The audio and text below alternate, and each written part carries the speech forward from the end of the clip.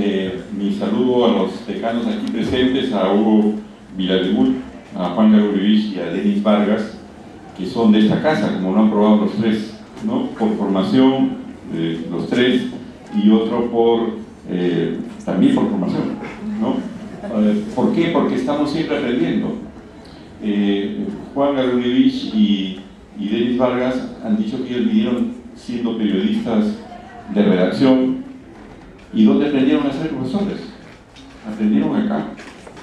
Entonces San Marcos está siempre enseñando no solamente a los jóvenes, sino también a los que venían de profesores.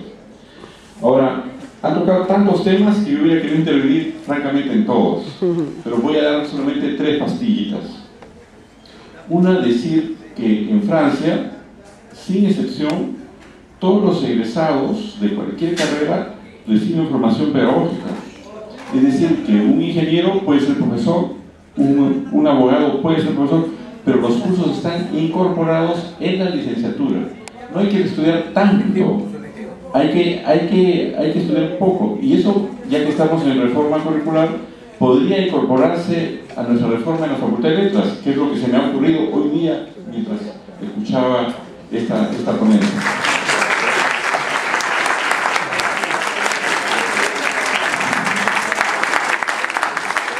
Otra segunda cosa que se me ha ocurrido, pero esa sí la tenía pensada, sobre esta polémica de los SMS, de, los, de las comunicaciones a través de las redes simplificadas, en lo que ha intervenido Denis Vargas. Como algunos de ustedes saben, yo soy presidente de la Academia Peruana de la Lengua y siempre me ponen en apuros periodistas eh, con esta pregunta de rigor. ¿Se está malogrando la lengua a través de los SMS? Respuesta, que creo que puede ser sorprendente, no se está malogrando. Y la cuestión es esta, esto viene desde muy antiguo. Los fenicios, con lo que tenemos que ver por nuestro alfabeto, no tenían grafías para las vocales.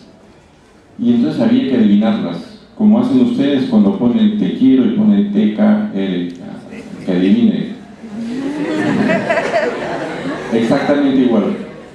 Entonces, esas comunicaciones que son grafías no anulan lo que ha dicho Denis Vargas.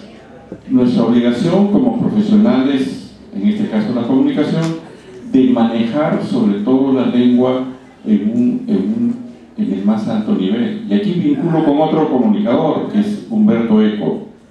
Humberto Eco ha dicho que hay tres culturas, lo toma también de McDonald's, este teórico de los años 20.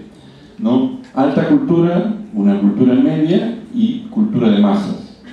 La alta cultura viene del Renacimiento, dice Eco y McDonald's, dicen ellos. Eh, hay una cultura que hasta cierto punto imita a esta alta cultura, que es la cultura media. Por ejemplo, los bestsellers sería un buen ejemplo. Una novela de Isabel Allende. Está bien escrita, pero no es García Márquez, ¿cierto? Bueno, pero hay otra cultura que es la cultura de masas en la que estamos. Este es el tema nuestro, la cultura de masas, que no es ni inferior ni superior a las otras, pero donde se expresan las otras. En un canal de televisión donde se ven programas que, no queremos, de pronto aparece también la vida de Baudelaire, por ejemplo, o, un, un episodio histórico que nos interesa. Es posible una misma persona transitar en un día por todas estas culturas.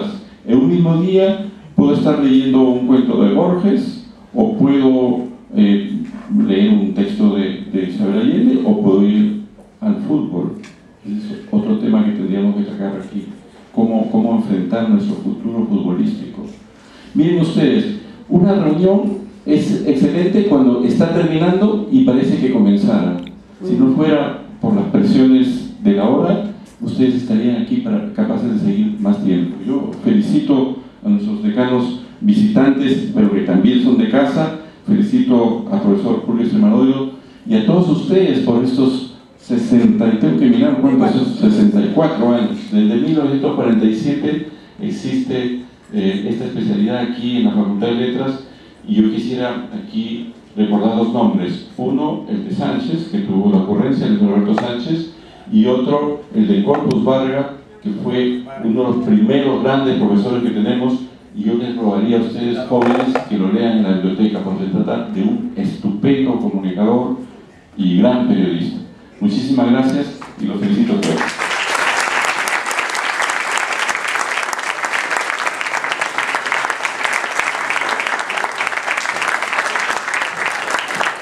Muchas gracias por su asistencia. A los profesores los invitamos a acompañar los, invitados a la sala de, de sesión del Consejo. Gracias.